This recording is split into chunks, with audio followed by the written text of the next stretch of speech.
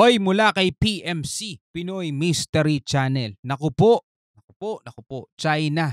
Nagkalat ng lason mga tol, warning sa Pilipinas. Yan o. Uh, pakita ko sa inyo, title, binasa lang natin. Yan o. Uh, bansang China, tina, tinatahanan ng isang bilyon at apat na uh, apat na raang milyong tao. Biruin mo ganun sila karami mga tol, no? Yan no. Naku po, China nagkalat ng lason. Well, eto mga kapatid, no, papanoorin lang natin to at bibigyan natin to ng reaction and commentary mula to sa channel ni Pinoy Mystery channel mga tol. Huwag mo kalimutan mag-subscribe sa kanyang YouTube channel mga tol. Nakalagay ang link sa ibaba. At kung bago ka pa lamang dito at gusto mo yung mga ganitong klaseng commentary and reaction video, sa mga ganitong klaseng uh, video mga tol, lalong-lalo na may kinalaman to sa ating soberanya at sa West Philippine Sea. Huwag mong kalimutan mag-subscribe. Click mo na rin ang notification bell para ma-notify ka whenever na may mga bago tayong reaction video tulad nito. So huwag na natin patagalin pa. Total, wala na rin naman tayong hinihintay na. Panoorin na natin to mga tol.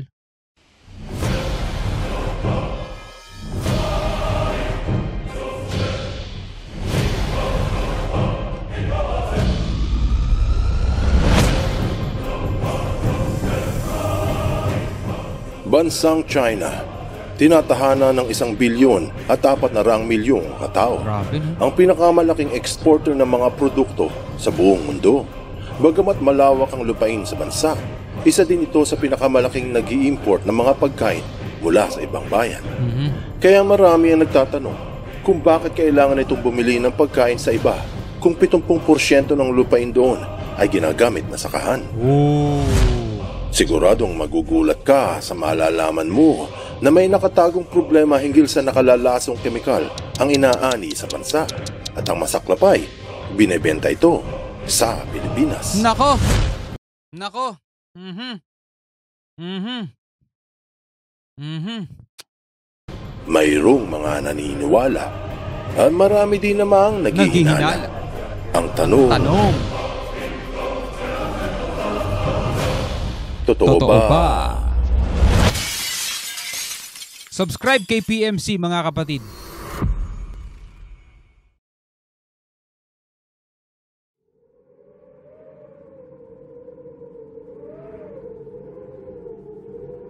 Wenji Village, China.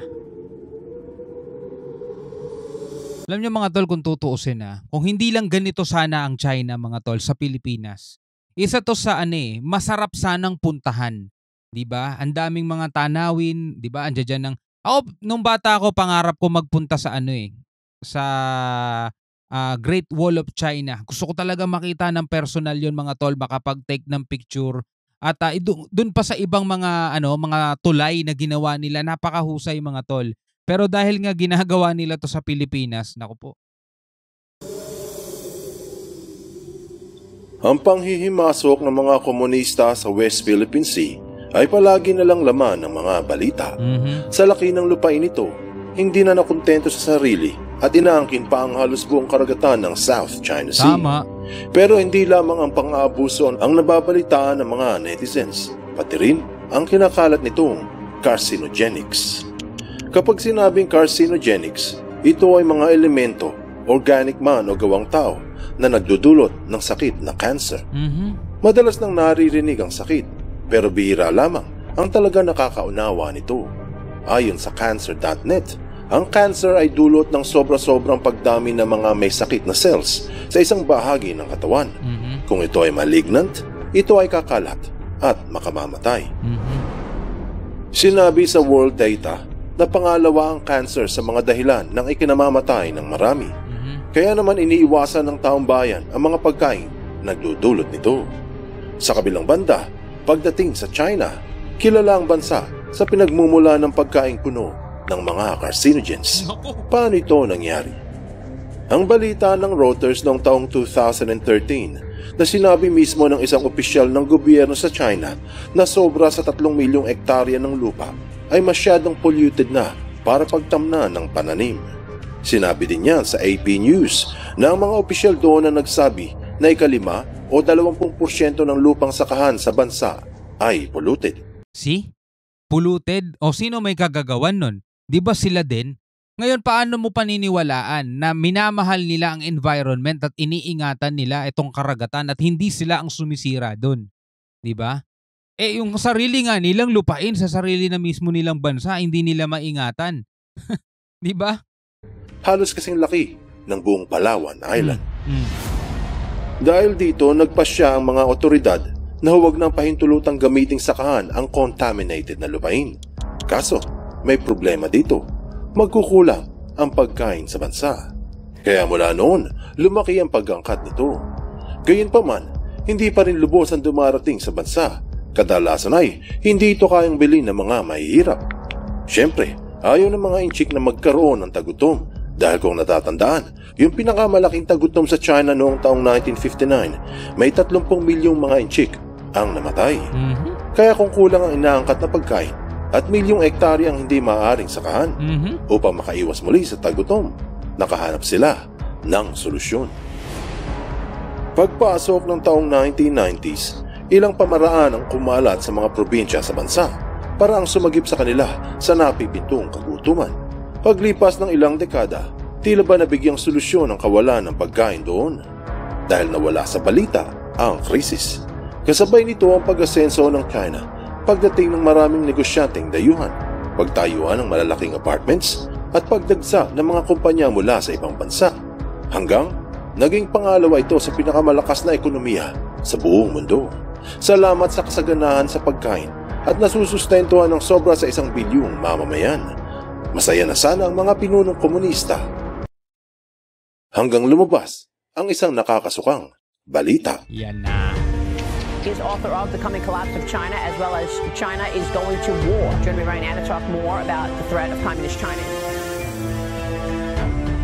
Kaya sa marami na hindi pala nabigyang solusyon ng problema sa pagkain. Ito ay napagtakpan lang ng mga nakamamatay na kemikal.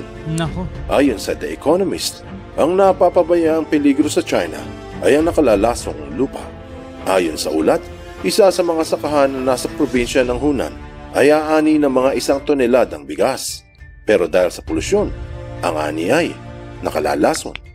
Tapos inulat sa Circle of Blue na ang patubig sa mga sakahan halos ng buong China ay maduduming labi ng mga pabrika Mhm. puno ng mga nakalalasong kemikal. Mhm. Tapos binanggit sa China Dialogue na sobra-sobra ang paggamit ng mga magsasaka doon sa mga may lasong fertilizers at mga pesticide Mhm. upang dumami ang ani. Solusyong tila may malaking peligro. Yung solusyon nila, problema pa pala, no?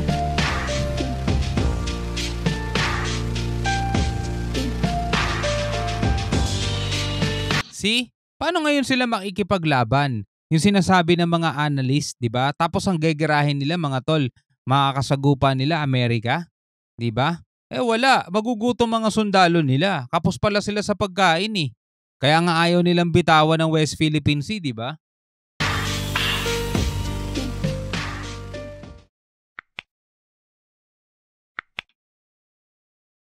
Ano ang kinalaman nito sa bansang Pilipinas?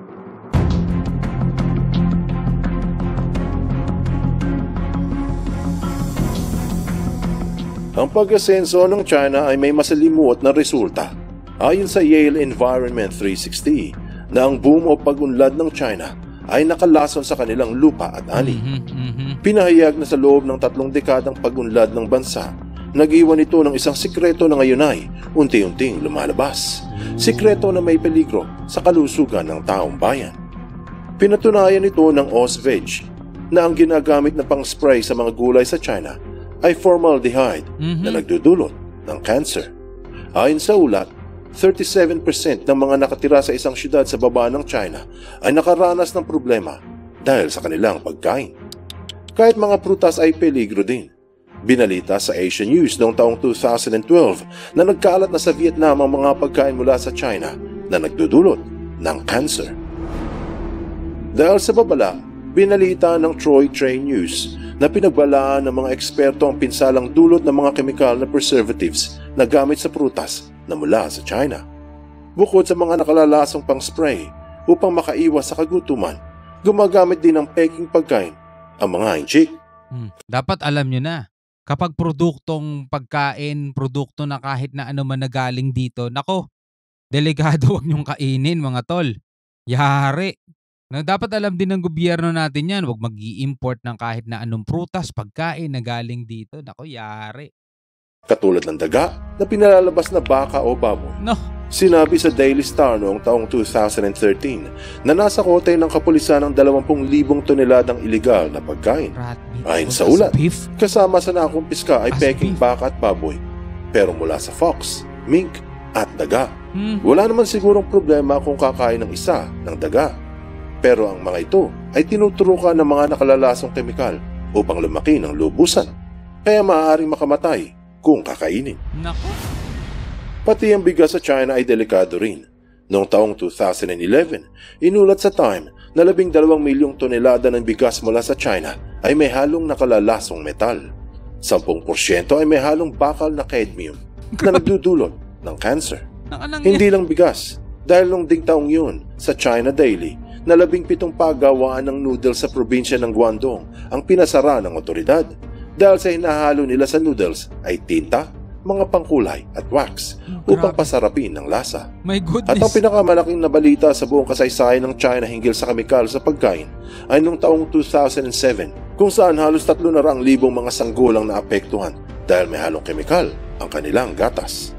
Ilan pa sa nakalalasang pagkain na mula sa China ay ang mantika mula sa imbornal, ang asin na gamit sa paggawa ng plastic at peking dugo ng itik. Mhm. Sa Gulf News taong 2007, ibinalita na naglunsad ang pamahalaan sa Pilipinas ng investigasyon sa mga pagkain mula sa China na may halong nakalalasong kemikal. Subalit mayroon bang katotohanan ang mga sinasabing nagdudulot ng cancer? Sinabi sa South China Morning Post noong taong 2016 na araw-araw 7,500 katao ang namamatay sa cancer sa China. Oh. Sorry ah, pinutol ko muna. So pwede pa ba yung i-deny? Eh sa kanila nga mismo. Napakarami nang nasasawi dahil sa cancer, di ba? Eh kagagawa nila yun eh. dulot ng cancer. Sinabi sa South China Morning Post noong taong 2016 na araw-araw 7,500 katao ang namamatay sa cancer sa China. Inulat sa Kaiksing Global na sa loob ng 15 taon, tumaas ng 20% ang namamatay sa cancer mula sa China. Sobra sa 2 milyon mula taong 2005 hanggang 2020. Mhm. Siyempre, hindi ibig sabihin na magkaka-cancer agad ang isa kung kakain ng Chinese food. Kailangan lang na mag-ingat at piliin ng mabuti ang bibilhin. Anong aral ang mapupulot dito? Ang pag-asenso ng China ay nakabubuti sa mamamayan nito at pati na rin sa buong mundo. Marami ang yumaman at nakaahon sa hirap. Subalit kung ang kapalit ng kaunlaran ay napakalaking peligro sa taong bayan, para saan pa ang pagunlad kung kapalit naman ay buhay? Dahil sa hindi maayos na pamamahala ng mga komunista sa bansa, ang taong bayan na nagbabayad sa kagagawan ng kanilang pamunuan. Tama. Ika nga nila, kung aakit ka nga't mahuhulog naman, mabuting sa lupay, mamulot na lamang. Mhm. Alright mga kapatid, pero hindi naman ibig sabihin nun yung mga Chinese restaurant dito sa Pilipinas ay ayaw nyo ng kainan mga tol. Dito naman ginagawa yon. And ang kadalasan mga Filipino rin naman ang mga nagluluto doon, mga chef doon mga tol. So good naman sila. Marami kasi dito Chinese restaurant and in fact mga kapatid, isa ako sa mga mm, pumupunta doon, di ba? Gusto ko yung mga siomay nila, yung mga iba't ibang mga pagkain na makikita mo sa mga Chinese restaurant dito sa Pilipinas. Wag lang siguro yung mga produktong ano na, alam mo yon yung mga in-canned na o kaya yung mga mga ano lang, mga instant na galing sa kanila. Ay nako, ang hirap ng mga ganun. Basta mga imported goods, mga tol, na galing dyan, iwas, iwas mga tol. Maliban na lang yung mga nandirito na talaga sa Pilipinas kasi yung mga rekado nun, local din naman yun eh. Dito rin tinatanim, dito rin naman inaani, okay? So ikaw bilang isang Pilipino, ano masasabi mo rito? Comment ka na lang sa baba mga tol. Hanggang sa muli, ako nga pala si Shobal D. Peace out.